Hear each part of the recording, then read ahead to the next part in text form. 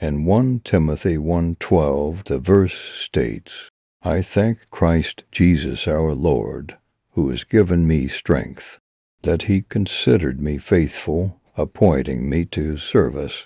This verse from the book of 1 Timothy, the author, who is believed to be the Apostle Paul, expresses gratitude to Jesus Christ for giving him strength and considering him faithful.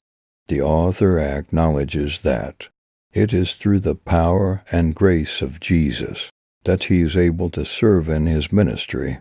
The phrase, I thank Christ Jesus our Lord, signifies the author's deep gratitude towards Jesus as the source of his strength and the one who holds authority over his life.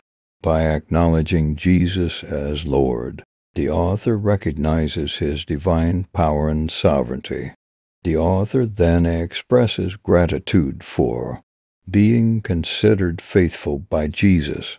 This implies that despite his past shortcomings or sins, Jesus has chosen to trust tenderly on him for his service. It highlights the grace and mercy of Jesus, who sees beyond our flaws and weaknesses and still entrusts us with important tasks. Furthermore, the author acknowledges that it is Jesus who has appointed him to his service. This means that Jesus has specifically chosen and designated the author for a particular role or purpose in his ministry. It emphasizes the divine calling and purpose that the author has received from Jesus. Overall, this verse reflects the author's deep gratitude for Jesus Christ, recognizing his strength, faithfulness, and the honor of being appointed to serve in his ministry.